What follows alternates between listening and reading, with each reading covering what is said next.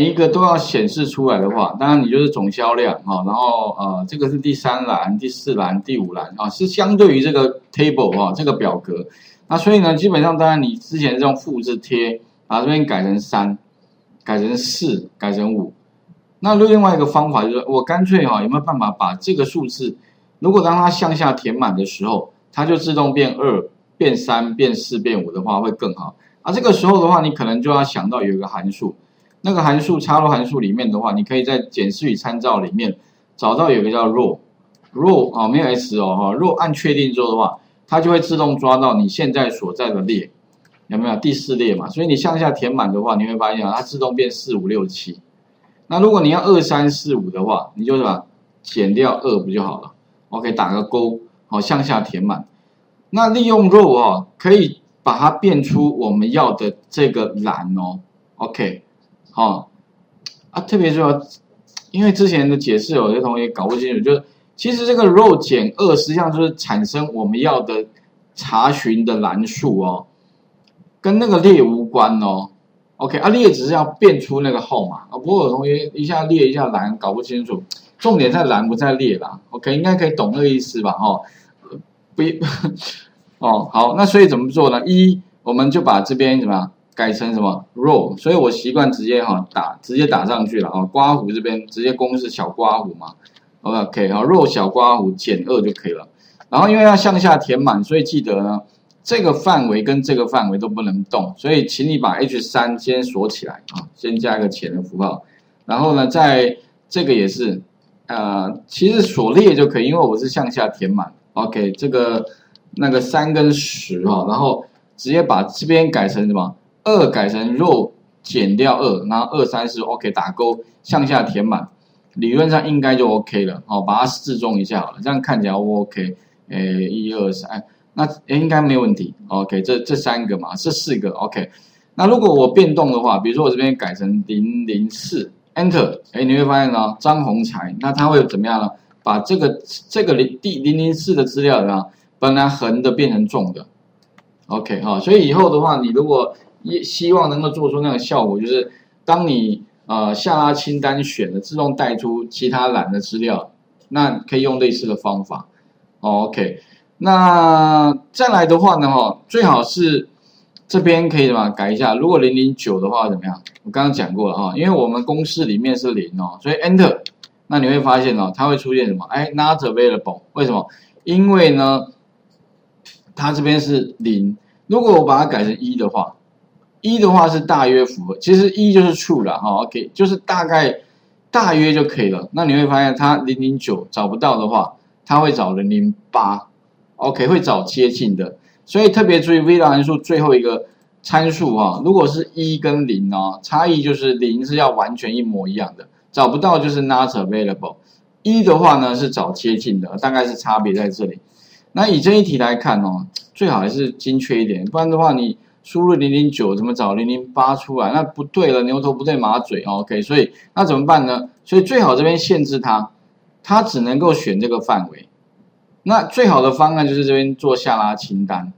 那下拉清单怎么做呢？哈，哎，前面我们哎有不我们有练习过吗？没有。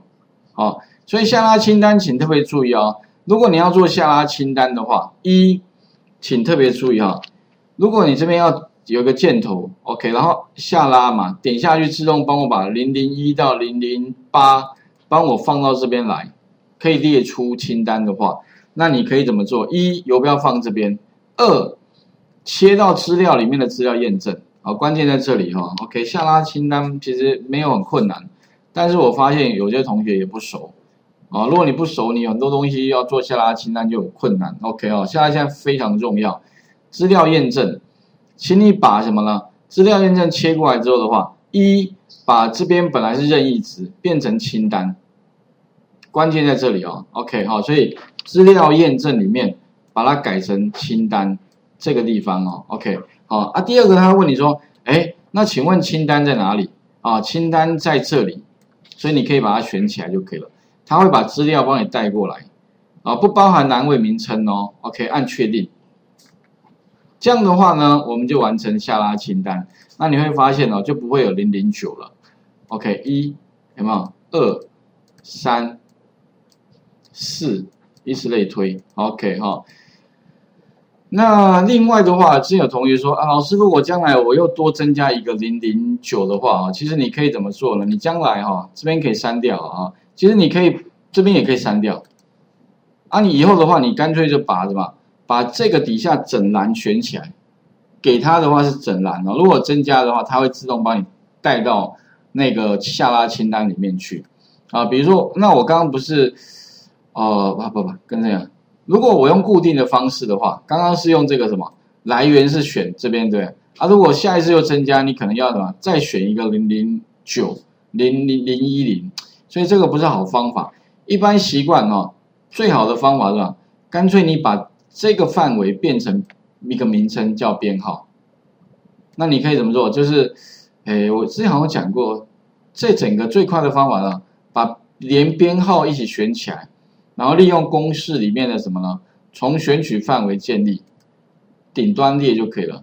顶端列指的就是编号，意思说它名称在边在顶端的地方按确定。好，这个时候的话呢，就会产生一个叫。编号的一个范围就是这个范围，OK，那我们可以怎么样呢？刚刚一样的方法嘛，你可以再切到隔壁的资料，资料验证这边的话呢不用选了，你可以怎么样？按 F 三，然后选编号就可以了，按确定，好，它这边下拉清单，好就会出现。那未来如果说你要多一个的话，它哎不，哎如果多一个的话啊，现在这样我假设了哈，我这边在。多多拉一个哈，假设我用这两个，诶，这样重复多一个零零九啊，不过跟会跟零零七一样啊，我们大概好，那不过你会发现现在还是不会出现。如果你要让它可以出现的话，教过一个方法，就是你可以怎么样？诶，编号啊这个地方你可以选的时候哈，可以把这个范围直接就选到底算了，就是什么，Ctrl Shift 向下，全部选起来。为什么？因为它可以哈，让底下的东西自动放到里面去。